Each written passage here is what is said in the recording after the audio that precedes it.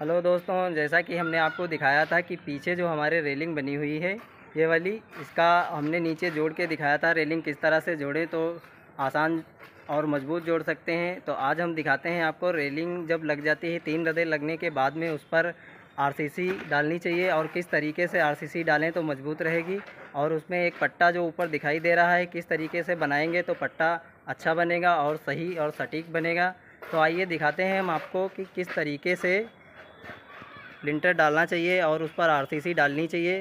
तो हमारे चैनल पर अगर नए हों आप तो हमारा चैनल सब्सक्राइब कर लें और को दिखाते हैं किस तरह से रदे लगाएँ और किस तरह से आरसीसी डालें, किस तरह से काम करें जो एक अच्छा मिस्त्री बन सकें।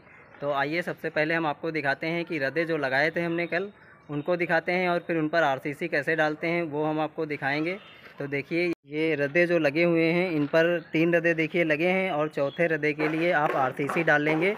जिस तरीके से सरिया हमने रखी है। इस तरीके से आप सरिया, दो सरिया रख के और नीचे से उठा के इनको, थोड़ा सा नीचे से उठा लेंगे, तब आरसीसी भरना शुरू करेंगे। जिस तरीके से हम आपको दिखा रहे हैं, इस तरीके से छज्जा अगर हो यहाँ पे तो आप छज्जे को मोड़ सकते हैं इधर से, क्योंकि छज्जे में सरिया मोड़ के डालेंगे तो ज़्यादा मज़बूत रहेगी। इस तरीके से आप सरिया दो रख लेंगे, तब आप आरसीसी भरना शुरू करें, इस तरीके से आप दो सरिया रख के और नीचे से थोड़ा उठा लेंगे।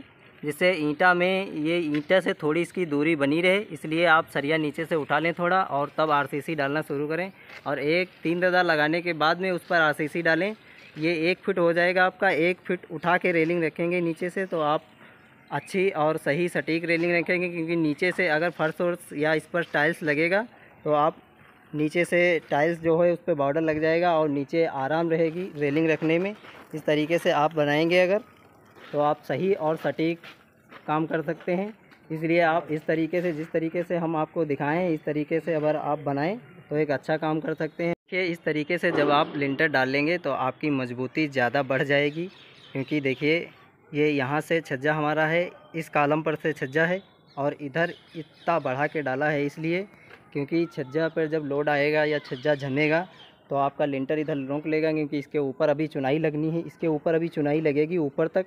तीन फुट तक, तब आपका छज्जा जैसे जमेगा तो रोक लेगा ये, इसलिए लिंटर इधर बढ़ा के डाला गया है, ये जो बीम पड़ा है, इस पर इसीलिए दो सरिया रख के डाला गया है, क्योंकि अब इसके ऊपर रेलिंग लगेगी और इस तरीके से आप पूरा बीम डाल लेंगे यहाँ से वहाँ तक, और आप इस तरीके से बनाएँ तो सबसे अच्छा और सबसे बढ़िया बनेगा, इसमें मजबूती ज़्यादा है और अच्छा काम रहेगा।